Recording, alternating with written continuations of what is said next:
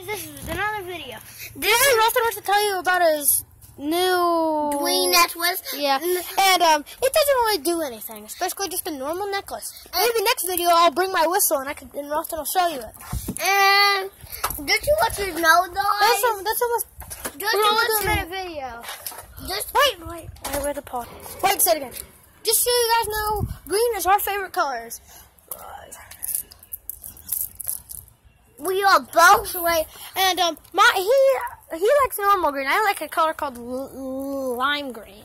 Are you too? Oh yeah, that's it. Your favorite color, green. Yeah, one. So we're gonna- we're gonna be walking back through here, and we're about to get ready to say bye, guys, because we are almost reached max storage. So we can only go to like one minute and five seconds. Then that's it. Uh, say? So as you know, this is Rolston. I'm gonna do face reveal three subscribers. So that's it for today, guys, and